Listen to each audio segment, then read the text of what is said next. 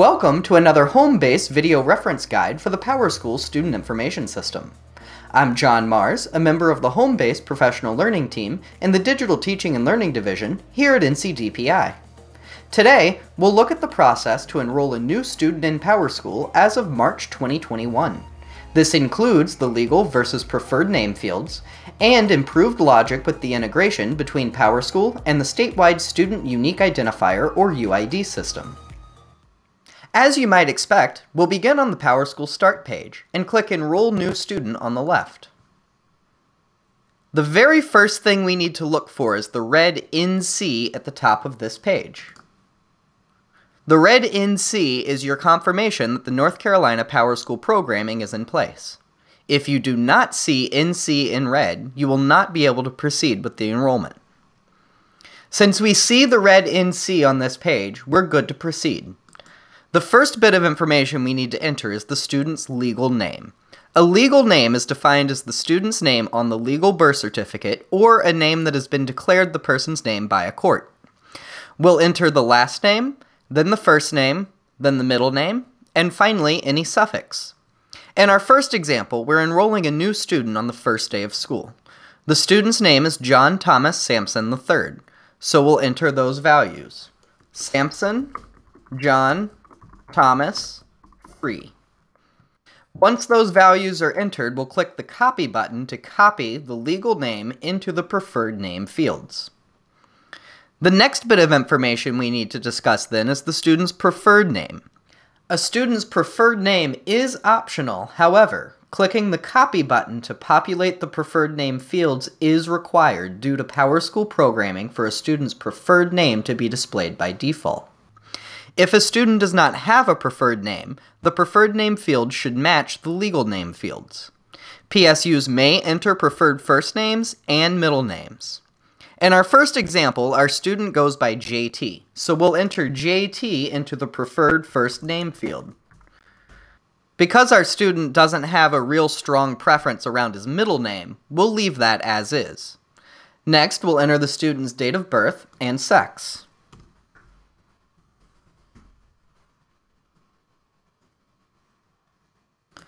For the student number field, the best recommended practice is to leave this field blank at all times. The integration with the statewide Student Unique Identifier, or UID system, will fill this in for us. The Social Security number field may be used. However, it is not recommended, required, or used by NCDPI. The best practice is to leave this field blank. If the student has a home phone number, you would enter that into the phone number field. The best practice is to enter digits only, however the field is freeform. Many PSUs also choose to enter a student's primary contact number here if they don't have a home phone number. The next field is the enrollment date. The student's enrollment date should be the first day the student will attend school. If you're pre-enrolling students before the school year begins, the enrollment date would be the first day of school. Note that students should not be pre-enrolled for the next school year prior to statewide end-of-year processing. So we'll go ahead and enter in the first day of school here, since this is a new student enrolling on the first day of school. Next, we'll enter the student's ethnicity and race information. A value must be entered for both of these questions. Next, we'll select the student's full-time equivalency. In most cases, there will only be one option in this drop-down menu, and it will be titled something like full-time, or full-time student, or maybe just FTE. Below that, you'll select the student's grade level as of their enrollment date. And next up is the entry code. So because this will be this student's first enrollment this school year, we'll use the E1 entry code. See the North Carolina School Attendance and Student Accounting Manual, or SASA manual, which is linked in the YouTube video description for details on entry codes. Next, if your school uses tracks, you would select the track that this student is on. If your school does not use tracks, you would leave this blank. Below that, you'll select the student's LEA of residence or their county or school district of residence. For charter schools especially, you'll want to ensure that this value is accurate. And then next, if your school uses PowerSchool fees, you would set the fee exemption status here. The default value for schools that don't use fees is student not exempted, and most North Carolina schools are not using PowerSchool fees. Also note that you cannot legally store free and reduced lunch information in PowerSchool, so that should not be entered in this field. The next section of the screen is the Family Match feature. If the student you're enrolling is a sibling of a student who is already enrolled, you can use the Family Match feature to associate those students as siblings and automatically copy some demographic information. If you will not be using Family Match, you can change the radio button to enroll without linking or copying information. If you will be using Family Match, you'll want to leave it on search for family members to link to and copy information from. By default, it will search for siblings or family members by the student's last name. You can also optionally enter a sibling's name, a guardian's name, a father or mother's name, or a family ID to match. And finally, below that is the student's home address. So you can enter the student's home address here.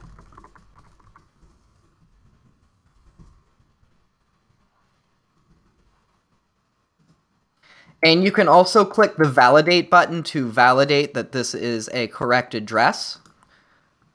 When you click validate, it will open a new window and it will validate that that is a valid address using Google Maps.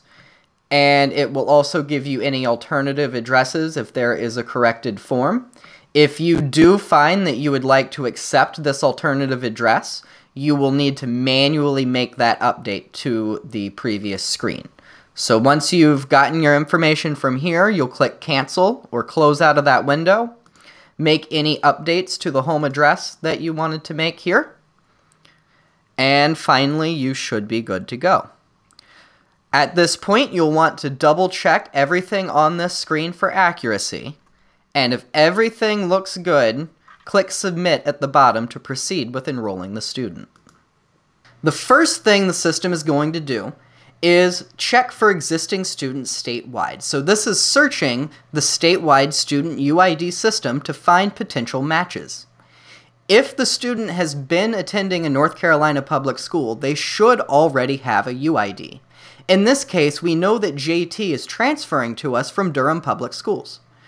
So we can see that UID has his correct date of birth, his correct sex, his name, his correct UID number, so we'll go ahead and tell the system that this is the student. If this was a new student who has never attended a North Carolina public school at any point in their lifetime, you could tell it no match, create a new UID. But in this case, we found our match, so we'll select the radio button next to our match and click Next. And confirm Next. If you elected to use the Family Match feature, the next screen will show the results of the family search. Check the Related box next to any listed current students who are related to the student you're enrolling. If you would like to copy demographic information from one of these current students, select the Copy Radio button next to the current student you'd like to copy data from. Currently, the data that is copied includes the address, mailing address, any mother fields on the legacy demographic page, and any father fields on the legacy demographics page. Our example is an only child, so the system didn't find any matches here. We could have selected Enroll without linking or copying information on the Enroll New Student screen to avoid this step completely.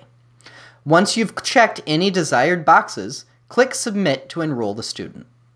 This student is now enrolled. If this student was transferring to you from another North Carolina public school, the next step is to transfer their records into your PowerSchool instance. On the left side, you'll scroll all the way to the bottom and go to Transfer Student Record under the Enrollment heading. On the Transfer Student Record screen, the only thing you need to do is click Continue. And once you click Continue, one of three things will happen. You'll get a green check mark telling you that the transfer has been requested, in this case, the transfer has begun processing in the background and will be notified when it's complete.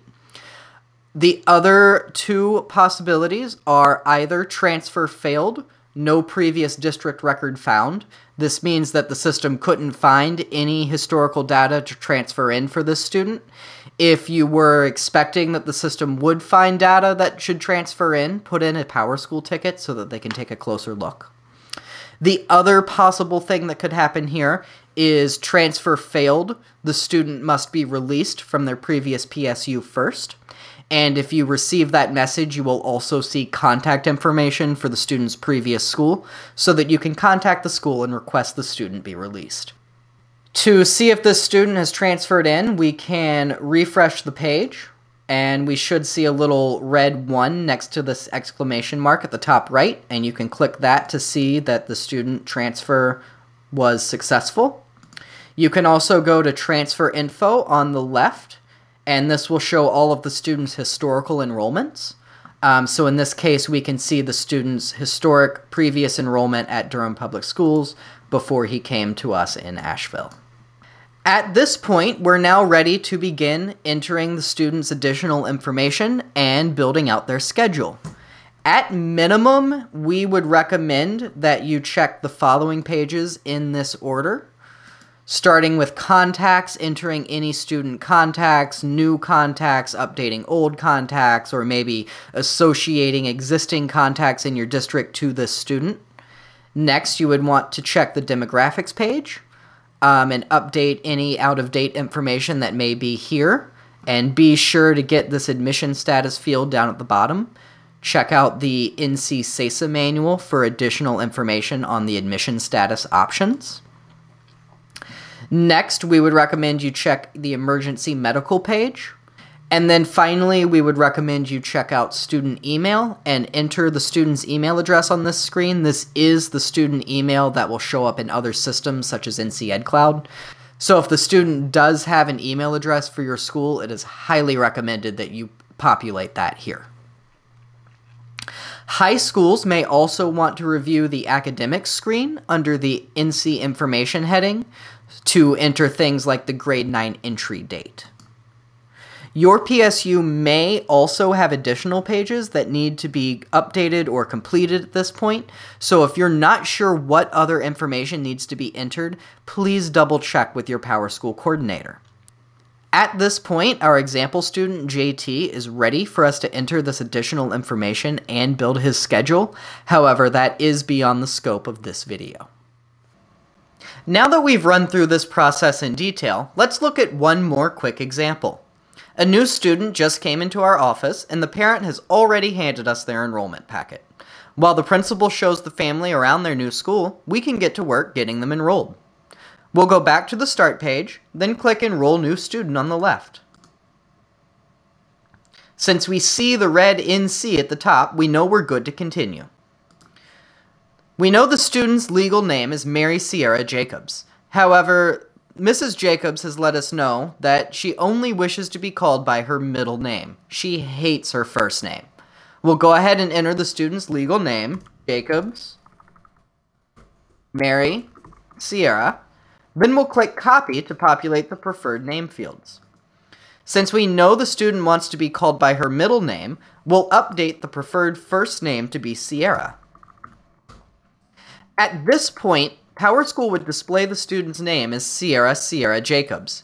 To prevent this, we'll clear out the preferred middle name field. PowerSchool will now refer to the student simply as Sierra Jacobs. We can now proceed with entering the student's date of birth and their sex. We'll leave the student number and social security number fields both blank. We could input the family's home phone number or primary phone number here.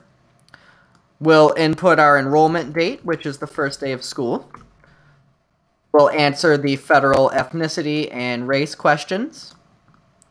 We'll select our full-time equivalency and our grade level. We'll use the E1 entry code because this is the student's first enrollment into a North Carolina public school this school year. Again, see the NC SASA manual linked in the video description for details on entry codes. Our school doesn't use tracks, so we can skip that. We'll select our LEA of residence. We're not using PowerSchool fees, so we'll skip over that. We know that this student does not have any siblings in our school, but we're in a little bit of a hurry, so we'll just skip over the family match and leave it as is. And finally, we'll enter the student's address.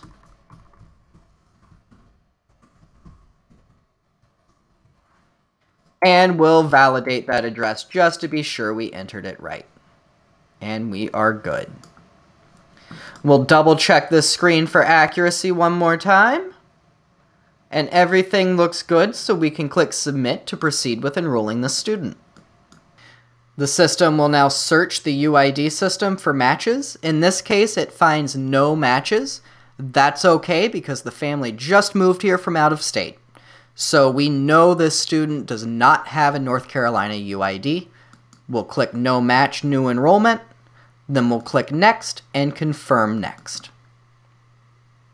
Now the system will search our PowerSchool instance for any students it thinks might be related.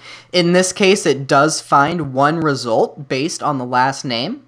However, in this case, this is not a sibling of this student, so we will not check the copy box or the related box. We'll just leave it alone and click Submit. And now, our new student, Sierra Jacobs, is enrolled and we could proceed with entering her additional information. We don't need to transfer her student records since she is new to North Carolina, so we can jump straight into data entry and building her schedule. I hope this has been helpful. As always, please stay tuned to the NC SIS page on the NCDPI website for the latest updates. This page is linked in the YouTube video description. Also, be sure to subscribe to the North Carolina Department of Public Instruction YouTube channel to ensure that you don't miss future videos from us and other NCDPI divisions. If you still have questions after watching this video, please log a ticket with PowerSchool support or email us at home underscore base at dpi.nc.gov. Thank you for your time and have a wonderful school year.